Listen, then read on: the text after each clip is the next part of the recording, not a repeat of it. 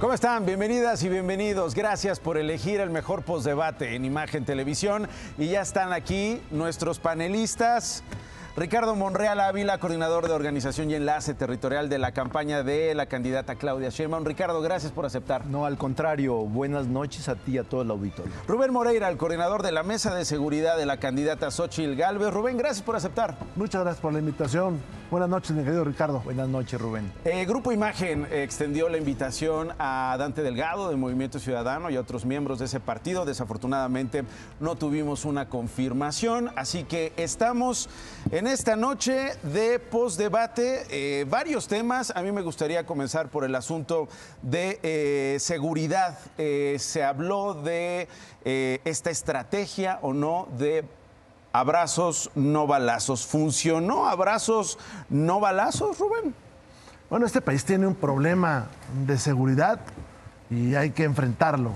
Nosotros pensamos que se ha ido deteriorando eh, la situación en el país y que, a juicio de nosotros, la estrategia del gobierno está fallando. Hay menos combate a la delincuencia, menos detenciones, menos eh, eh, captura de grandes delincuentes, menos requisa- requisación de armas, en fin, se está desbaratando nuestro sistema de seguridad con una Guardia Nacional que es poco eh, entendida, con dificultades que tiene por su característica legislativa, su armado jurídico. Y bueno, pues tenemos 186 mil homicidios y tenemos que terminar con esta violencia que ha escalado. ¿Eso es un no? Yo creo que no ha funcionado. obviamente. ¿Funcionó abrazos, no balazos, Ricardo? Mira, primero quisiera expresar que me gustó el debate. La candidata Sheinbaum comenzó como puntera, terminó como puntera.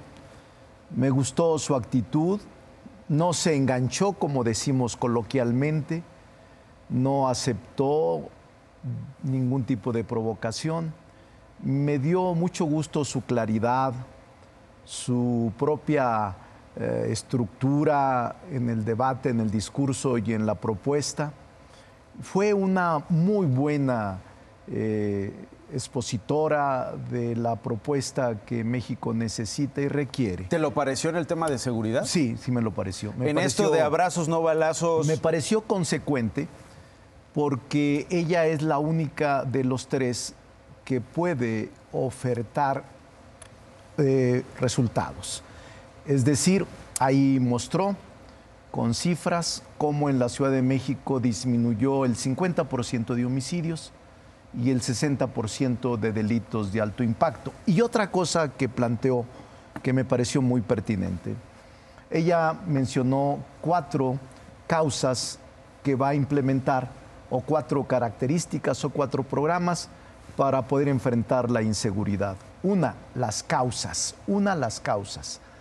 Dos, el sistema de coordinación entre estados, policías y poderes, que me parece pertinente. Tres, combate a la impunidad, cero impunidad. Y cuatro, que también me pareció importante, la política de bienestar. Cómo rescatar a los jóvenes, cómo construir un ambiente más propicio en la sociedad y cómo reconstruir el tejido social que se ha perdido. Ella avanzó y dijo, no es ahora, son los, yo diría, las últimas dos décadas que México se ha venido descomponiendo en materia de seguridad y que evidentemente el presidente López Obrador recibió esta herencia y que nos hemos enfrentado. A ver, sobre ese ella. punto, Ricardo, eh, se ha planteado en las últimas semanas el asunto de los datos, la recopilación de los datos de los delitos que se cometen, si en algunos estados se están reportando los homicidios que efectivamente están ocurriendo o no. El presidente hace unos días respondió, no hay más violencia, hay más homi- homicidios, decía el presidente, una frase que también fue citada en este tercer Yo- yo- debate. ¿Cómo, ¿Cómo entender esta de no hay más violencia, hay más homicidios? Mira, yo creo que las cifras no se pueden maquillar, ese es mi punto de vista, porque el secretariado de la propia Secretaría y la- el programa y los planes no se pueden alterar. Yo sí creo que con el presidente ha disminuido el delito como venía en crecimiento hacia el 18 en las últimas 12 años, cuando menos, o 18 años, sí veo y creo en el INEGI y creo en los datos que se están presentando. No con esto quiero decir también que esté resuelto el problema. No, sí tenemos dificultades en los estados. ¿Y tú estarías de acuerdo en que no hay más violencia, sino que hay más homicidios? No, sí hay homicidios y también hay violencia. Eso no se puede ocultar. Incluso a mí me pareció muy clara la exposición de Claudia en cómo enfrentarlo. Ella nunca lo negó y me parece que sí tenemos que reconocer que el presidente recibió una herencia maldita de un proceso de destrucción del tejido social, de territorios completos bajo el crimen organizado que le heredaron durante los últimos 18 años. De gobiernos de PRI. De gobierno el PRI y el PAN. Este, evidentemente, ellos gobernaban. Y yo sí creo, soy optimista en que lo que está planteando el presidente y lo que está planteando la candidata nuestra es la ruta adecuada y correcta. Eh, Rubén, no hay más violencia, hay más homicidios para saber, para responder, para resolver precisamente lo que comentaba Ricardo, las causas, lo que planteaban las dos candidatas en temas de seguridad, eh, pues es importante entender los números y tenerlos claros, ¿no? Mira, yo creo que hay más violencia y hay más homicidios. Y además hoy tenemos una tercera conducta, una tercera ruta ahí del mal, que es la violencia política. Una gran cantidad de candidatas y candidatos 30 candidatos asesinados, según el Colmex, 6 en Guerrero, 5 en Chiapas, 3 en Michoacán, 3 en Jalisco, 10 candidatos de Morena, 6 del PRI, 5 del PAN. Y además yo agregaría una serie de ataques que se dan contra ellos, una gran cantidad de mujeres que se retiran de las candidaturas, 280 en, en Chiapas hace unos días. Ahora, ¿qué, sucede con esto de las cifras? Nosotros las ponemos en duda por varias cosas.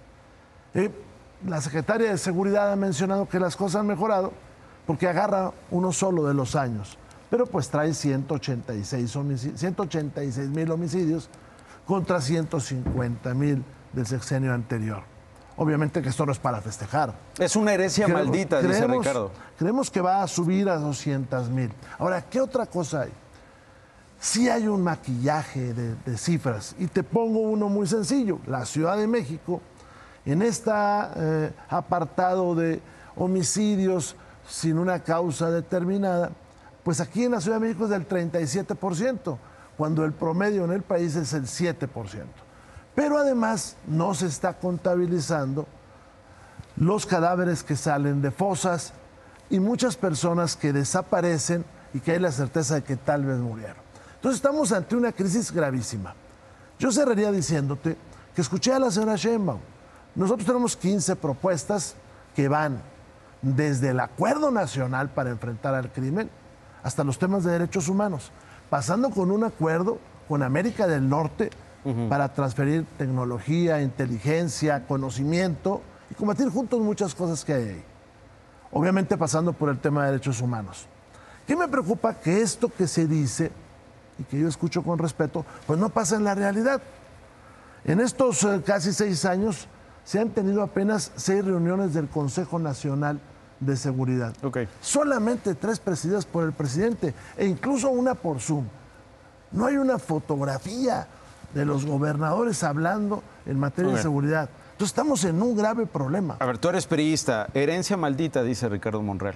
Yo soy priista, creo que hay que atacar las causas del crimen. Mira, Xochitl ha dicho. Pero no hay una herencia maldita, es decir, no, hay una responsabilidad. Hay una realidad que se dio en este país. Hay una realidad. ¿Y por qué? Pues por muchas cosas que, se han ido sucediendo. Dime dos, dime dos. Los factores internacionales, por ejemplo.